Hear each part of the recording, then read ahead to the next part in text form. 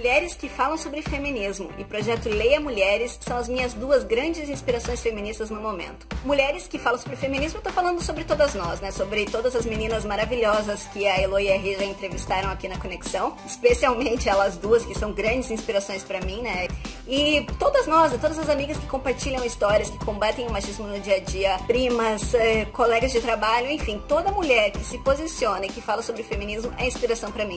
A minha inspiração é a Elo, a Elo que me fez ver que eu posso me dizer feminista mesmo que eu não cumpra todas aquelas regrinhas do manual feminista. Hoje eu digo que eu sou uma feminista e eu tô em evolução e foi ela que me fez ver isso. Inspiração feminista para mim é uma ONG aqui de São Paulo, Artemis, que tem conteúdos muito bacanas na página deles do Face. A minha inspiração feminista, na verdade, tem sido um hábito, que é o hábito de criar uma visão feminista no meu dia a dia. A gente tem essa construção de um mundo desigual que a gente participa, infelizmente, sem nem perceber, e essa desconstrução ela é um pouco difícil. E uma coisa que tem me ajudado é buscar conhecimento de história de algumas mulheres. E nesse cenário tem um livro que é esse aqui, ó, Mulheres Incríveis. Ele é um livro rasinho, a gente lê numa sentada, mas ele é interessante porque cada página dele é uma mulher incrível. Infelizmente, eu não conhecia a maioria delas. Então é isso, a minha inspiração feminista tem sido trazer à luz é, é, histórias de mulheres que eu consigo projetar minha realidade e aplicar isso no meu dia a dia.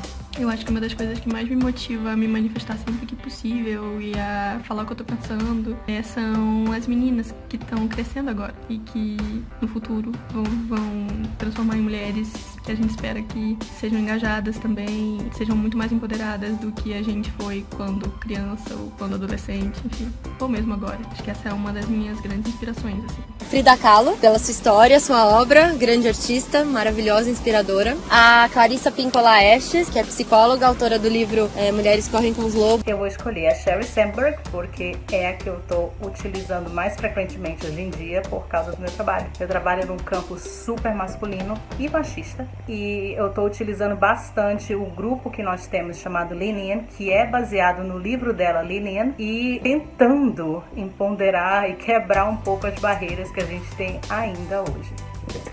Uma grande inspiração feminista que eu tenho é uma crônica que se chama Uma Questão de Identidade, escrita pela Marta Medeiros. A Marta Medeiros não é nenhuma ativista feminista, mas quando ela escreveu essa crônica em 2007, há 10 anos, ela tratou do assunto que até já foi pauta aqui do Conexão Feminista, que é a tradição das mulheres de adotarem o sobrenome do marido assim que se casam. Enfim, ela jogou essa pauta na cara da sociedade numa época em que não se falava tanto quanto se fala hoje sobre feminismo. E eu achei interessante, porque naquela época fez muito sentido para mim e continua fazendo até hoje. Basicamente, a crônica fala que o nosso nome é um patrimônio, uma marca registrada que não merece ser amputada e que, no mínimo, é um bom exemplo para os filhos que já nascem sabendo que mãe e pai têm a mesma importância. Mulheres da minha família, as minhas avós, minha mãe, minha irmã, são inspirações feministas para mim. O livro Feminist Fight Club, que a Elo indicou aqui na Conexão em um dos hangouts, é muito inspirador para mim em relação ao feminismo no ambiente corporativo. E da minha paixão pelo crochê, pelo tricô, pelo feito à mão,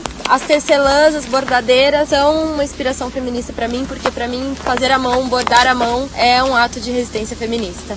Eu acho que uma grande mulher inspiradora foi a Florence Nightingale. A Florence ela é considerada mãe da enfermagem moderna e ela nasceu no século XIX numa família aristocrática inglesa. Então tudo o que se esperava dela é que ela fizesse um bom casamento. Mas a Florence não quis se casar. Ela bancou essa decisão ela bancou a decisão de cuidar de doença a vida toda. Foi para a Guerra da Crimeia, onde ela fez toda a diferença na sua assistência.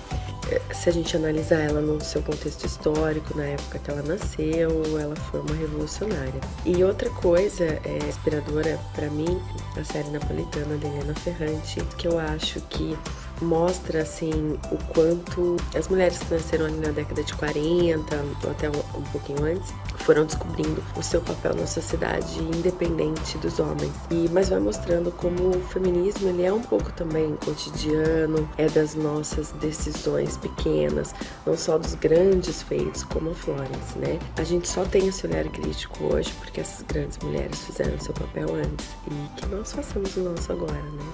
Minha inspiração feminista, na verdade, são duas mulheres.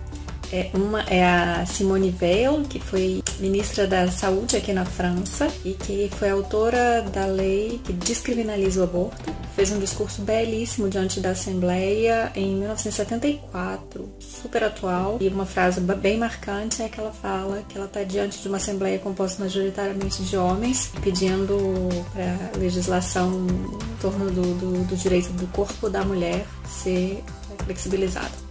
E a outra é minha bisavózinha materna, nos idos dos anos 40, se viu viúva e foi encarar estudo e trabalhar para sustentar sozinha os cinco filhos. E o projeto Leia Mulheres eu conheci no ano passado. Ele incentiva a leitura de livros escritos por mulheres e eu comecei a participar dos encontros do grupo de Curitiba. Eu continuo lendo os livros propostos pelas meninas e tenho aprendido muito, porque elas, a gente cada mês lê um livro completamente diferente, com uma temática feminista diferente, escrito por uma autora com background completamente distinto e isso ajuda a gente a entender melhor o feminismo, né?